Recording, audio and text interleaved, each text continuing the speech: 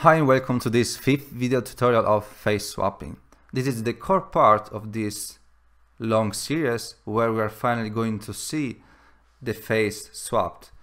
So in the last video we warped the triangles to make look the triangle from the first image as the triangle from the uh, second image and now we're going to reconstruct to put all the triangles together from the first face and put them in the second face. So let's see quickly an explanation of how we will do that visually. This is where, where we are in the last moment. So we have the triangle from the first face, which is this one. Uh, sorry, this one from the first face, exactly this one. The same triangle from the first face, we changed the perspective and made it to look as the one in the second phase. This one is in the second phase. So if I move this one right into the second phase, we can see that it was extracted from, from this part. And our goal now is to put the warp triangle from the first phase in the second phase.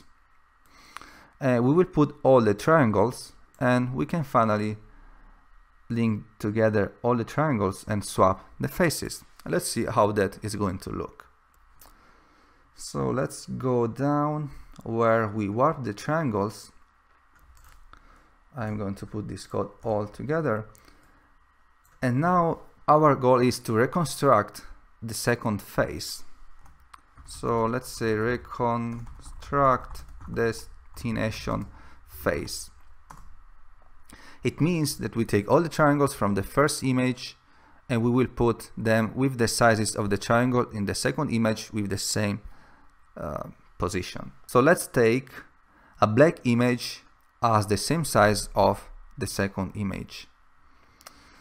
I'm going up at the beginning. So where we have the second image, let's, uh, after the second image, let's create here EMG2 new face is going to be as np zeros like e emg2 so here we created a black image with the same size and channels of the second image.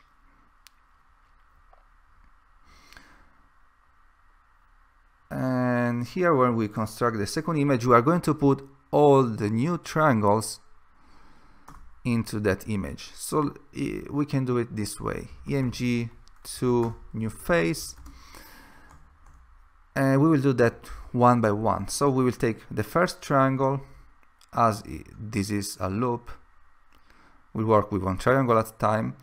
We know the position of the crop triangle 2 is this one. So I just copy this code where we take the crop triangle 2 where we have the position.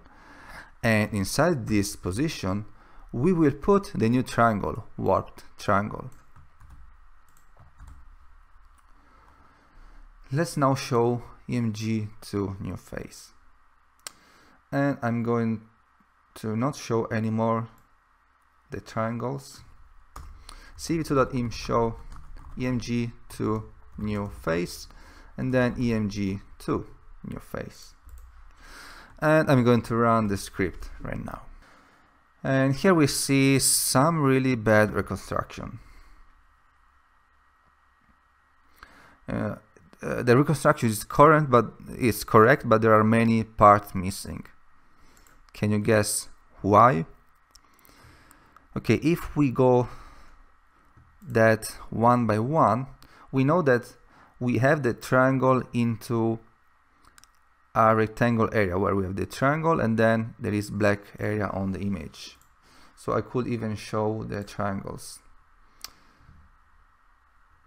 So let let me show you the triangle. So it will be even more clear. Cv2.im show warped triangle. Warped triangle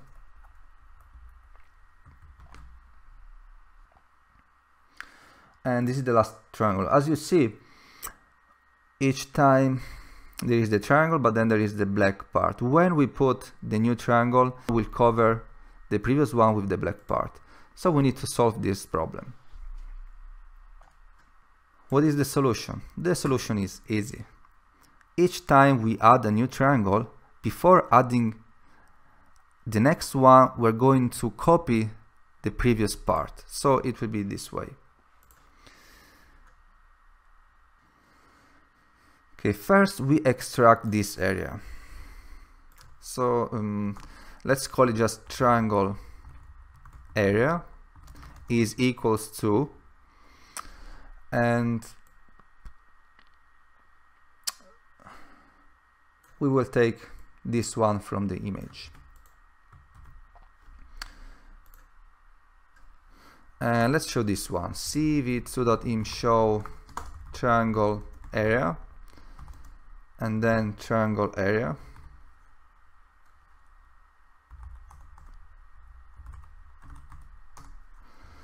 And cv2.wait key. You don't need to do this one. I'm just doing this to show you what what's the work we are doing. And i will run this script. Okay this is the triangle area and at the beginning there now of course it's black as we don't have anything.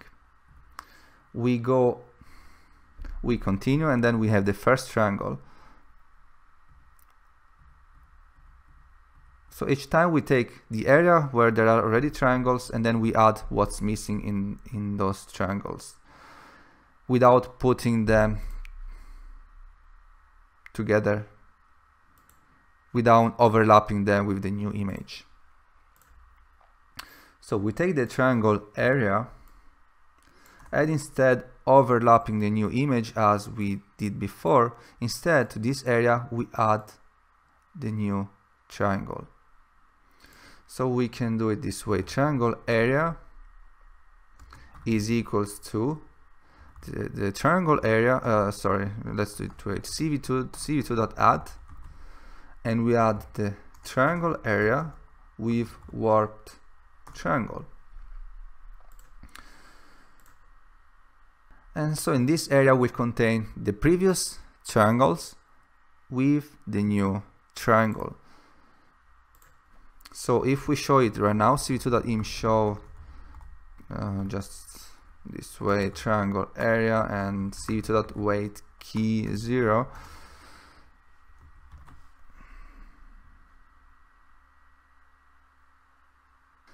this is the triangle area with the new triangle added then we go next and here we can see this line is separating two triangles. So there was some triangle the previous before and the second one.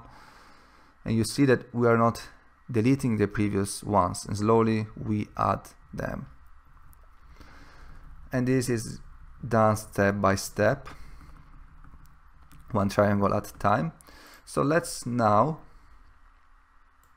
once we have this area overlap now we can overlap as we mix them together before uh, here instead of putting warp triangle I just put triangle area. And at this point we can show EMG to new face and everything should be fine.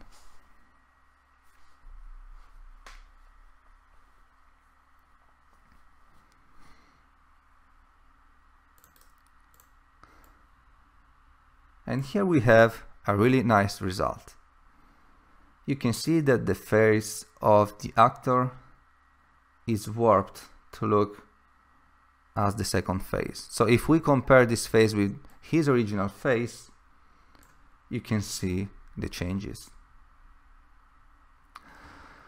So let's now remove the lines. So these red lines that we don't need anymore, let's remove them. We can cancel this or just comment them. I will just comment, so control backslash uh, control backslash to comment the lines in PyCharm. So if you have a different editor, it might not work. Most likely it won't work.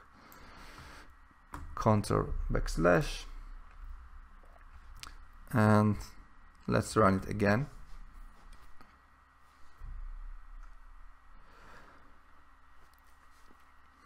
Well, even if we don't have the lines here on the triangle, we are taking the triangle circles except the lines.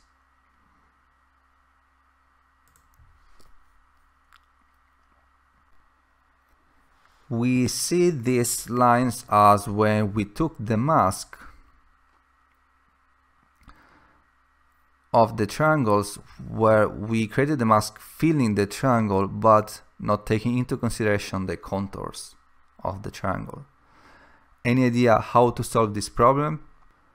I will leave to you this challenge so if you find a solution leave some comment below the video.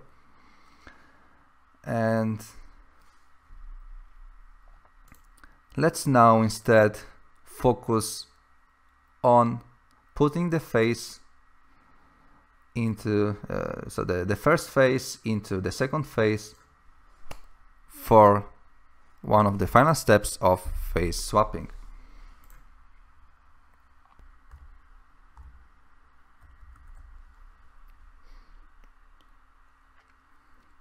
Let's go after the end of the loop and let's call this one face swapped uh, putting first face into second face. So now we need to create a mask. We need to create a mask to extract from this image all the head except the face. So we want the part inside the face to be black so that later on we can we can add these two images together and put this one. So let's first create, it, create the mask.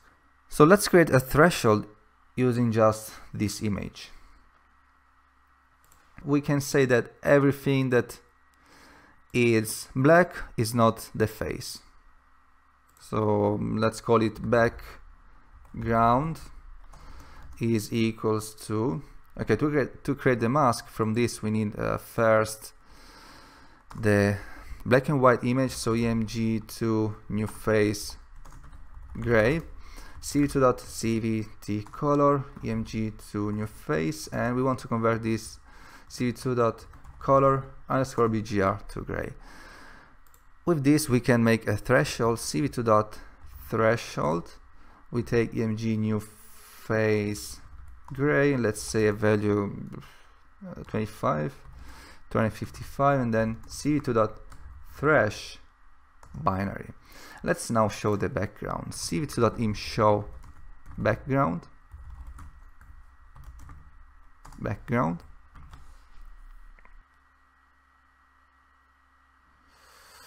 uh, uh, uh. okay uh, my mistake we are taking threshold returns always two values we don't need the first one we only need the result of the threshold. The first one is just true uh, true and false if we have it or not. We don't need that we just need the background so let's run this again.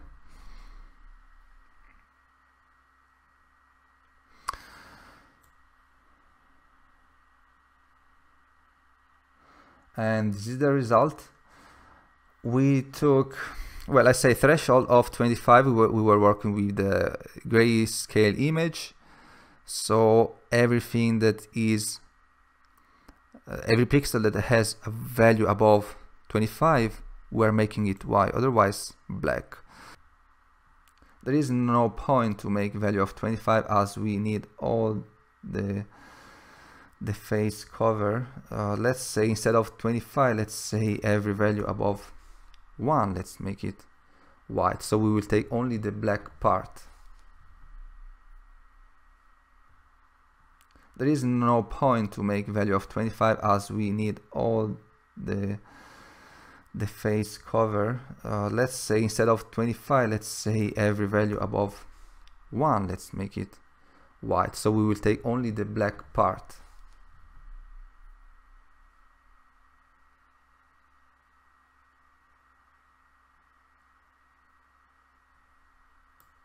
and that's exactly what we need, a different threshold.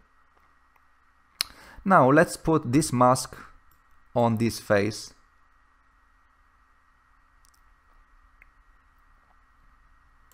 except that we want the opposite. As the white part is the part that we allow, so we want to allow to extract from this face only the part surrounding the face. So white part is the part we allow, black part is the part we cover. So we want to cover this one, so let's convert this mask.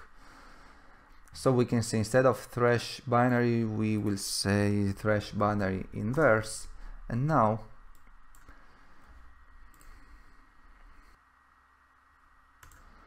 exactly what we need the new face the background and we put them together for the final result result is equals to cv2.add we are simply adding these two images. Emg to uh, no sorry we're just adding background and emg to new face. We don't need to show all the rest. We just need to show the result. Cv2.im show.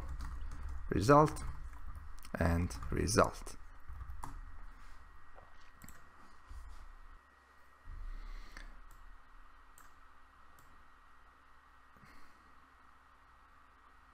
and finally we can say that our swapping has been done correctly first phase second phase final result.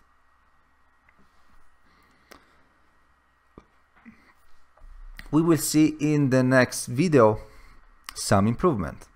What is missing? Well, we can see these triangles that uh, these lines that needs to be solved and I leave to you the challenge but we will see in the next video how to make it look similar to the first face. Now it more than swapping it looks like a collage. We want the color to be similar and we have in OpenCV some built-in function that will allow us to do this. So remember to stay updated if you want to see the following of face swapping. And today I received this. This will be part of my new video course that I will be releasing soon about Raspberry Pi and I'm receiving quite often new objects that I will going that I'm going to use for the new series. This is a servo servo motor that we're going to make work with the Raspberry Pi. I have eight of them and I will let you know why we need this. See you in the next video.